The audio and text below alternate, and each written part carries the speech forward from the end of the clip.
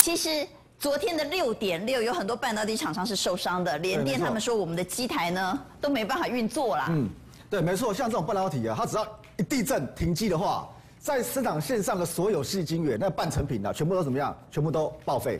那全部都报废的话，当然就是后面再慢慢数。哦，画面上可以看到哈，来台积电说部分机台已经停摆了，联电说部分机台确实也停摆，而且受损了，还要重新开机等等的一头拉库的半导体厂商都说他们确实受到影响，但我们搞不太清楚，就是他们停机或停摆的影响很大嘛？哎，影响真的很大哦。其实就有研究机构在预估哦，如果说因为地震台湾这边受损的话，如果说以租客来讲停一个月。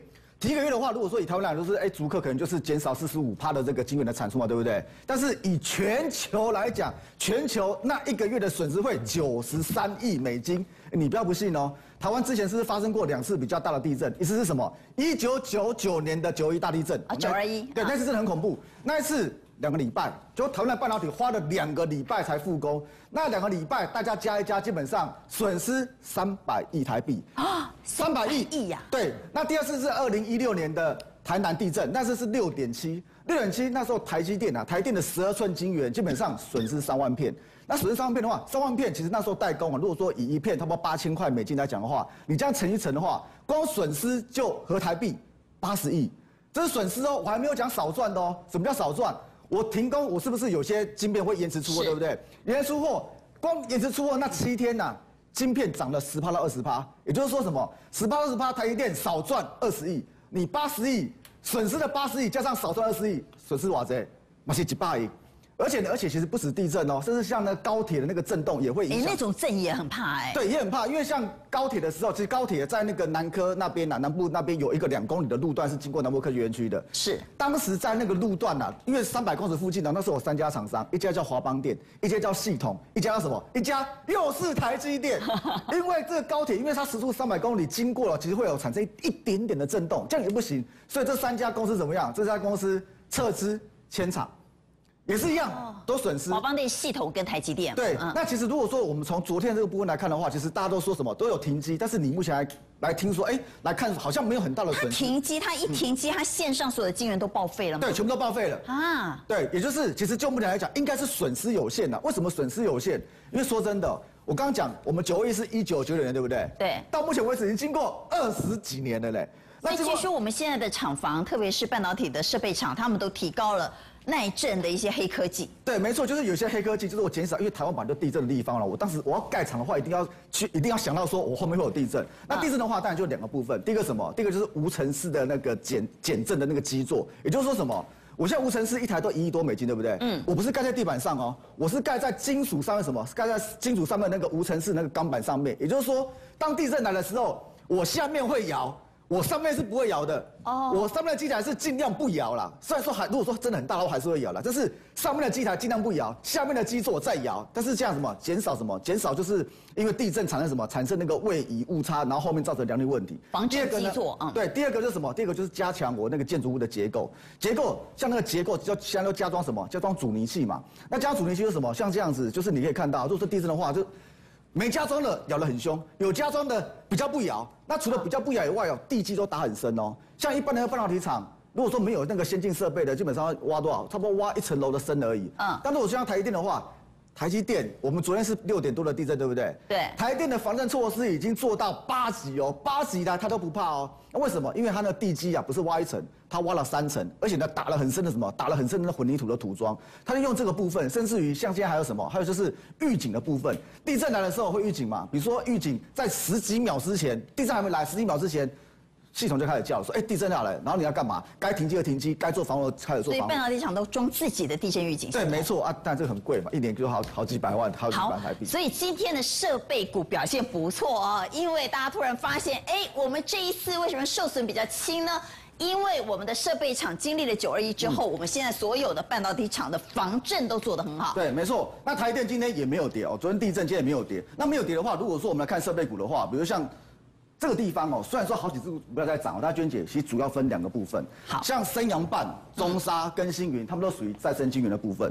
创意跟万润这两只是什么？这两只是先进封装。其实就再生晶圆跟先进封装，这是台积电今年在做的最重要的事情。为什么？像先进封装之前是不是那个 M1 Max、M1 Ultra 推出，对不对？M1 Ultra 娟姐，M Y Ultra 它是两颗 M Y Max 合在一起，对不对？对，M Y Max 它是五纳米的，也就是说五纳米、四纳米、三纳米，这个你要推进的那个纳米数哦，其实越来越难做。但是呢，如果说我用先进封装的话，我可以做到更好的效能。所以五纳米封装起来，现在是吊打所有的晶片。所以台电基本上知道什么？知道说，哎，我我要开始往先进封装的部分。再来呢，再来这个遍天下无敌手。对，再来是在这个再生晶圆，对不对？台积电自己本身就五座厂，后面要完工，全球后面还有二十九座晶圆厂要完工。那细晶圆这几年有人扩厂嘛？但是再生晶圆呢，没什么人扩厂哎。但是你在做晶片的时候，你不能没有再生晶圆哎。所以怎么样？所以台积电现在干嘛？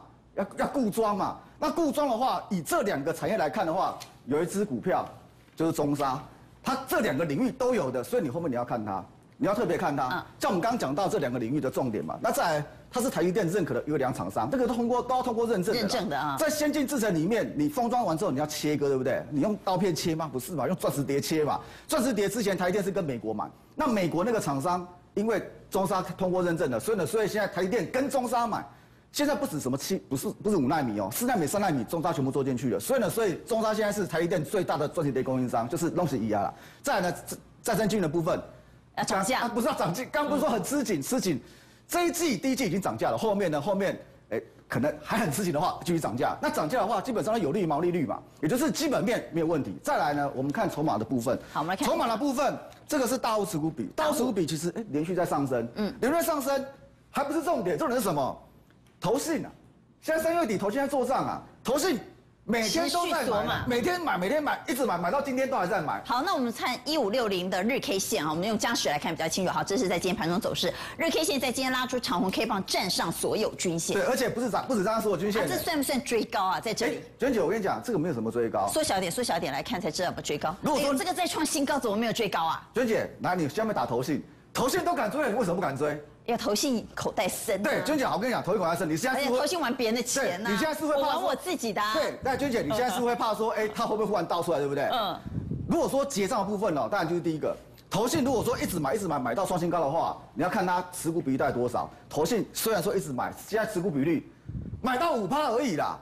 五趴代表什么？代表它后面还有空间，它有很多的加码空间呐。所以像这种产业前景对的话，产业前景对，然后反又在买，筹码又没有没有错的话，像这种就是创新高。它这创新高震荡一下要创新高，代表还会再上，代表就是上面根本没什么压力。好，我们回到宫格来看啊。好，除了中沙之外呢，其实再回到宫格，在今天。半导体里头最强的其实是升阳半导体，帮我们来看这档个股，好吧？升阳半导体八零二八，对，基本上它是今天它是十一点过后拉出第一根就锁涨停哦。对，它也是什么？它也是 K 线来看一下，它也是那个再生晶圆的。啊，再生晶圆，你中烧都已经涨成这样子啊，这些这些自己都没涨到。今天开始干没？哎，我我刚啊，不对一波投信呢，你投信是康诶。就投信有，筹码没有中沙那么漂亮。对，它筹码没有中中中沙是大雾买，投信一直锁码嘛。那这支股票虽然说今天走得很漂亮，但是呢，但是我个人认为你擒贼先擒王，射人先射马，你要买要先买会领头创新高的股票。我们来看，呃，投信股有没有可能在现在气氛不错的情况之下，一路做账到月底？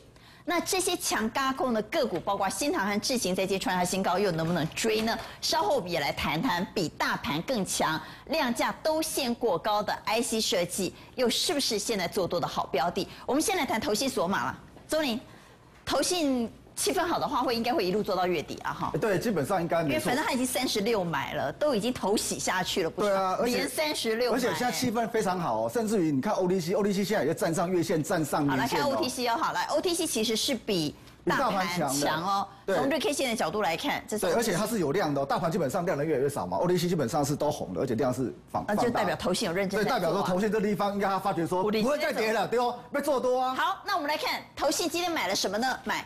博智、长荣航空、兆丰金、华通、金源电子买了双红、新唐、星光钢、锦硕和南电。我们如果从宫格的角度来看，其实有不少投信索马股最近在嘎空哎。对，其实投信哦，你看投信就看两个部分，第一个就是它当天的投本比最少要零点一啦，好的话零点三以上最好了。再就是他们连续买。那我们先讲一支不要买的，不要买的，比较危险，不能说不要买，比较危险，危险危险的这个创维啊，对不对？是创维啊，对，因为其实投信已经连续三天在卖了。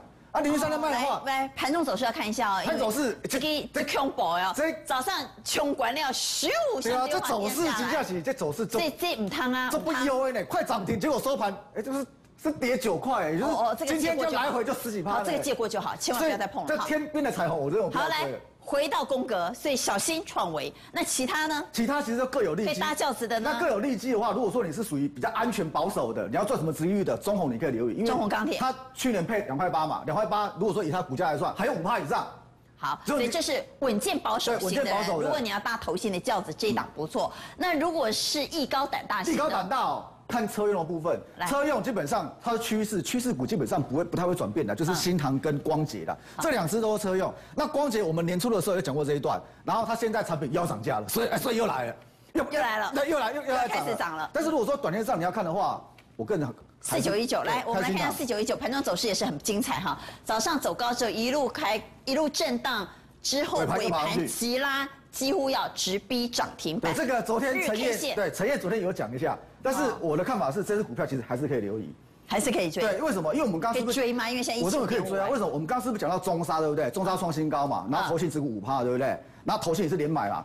中沙的状况跟新塘其实非常类似哦，这两只基本上很类似。为什么？你看新塘基本上也是今天创新高，创新高创新高。投信怎么样？投信也是连续买，而且呢，投信虽然说买到现在，你看它一连续买，持股一样只有五趴。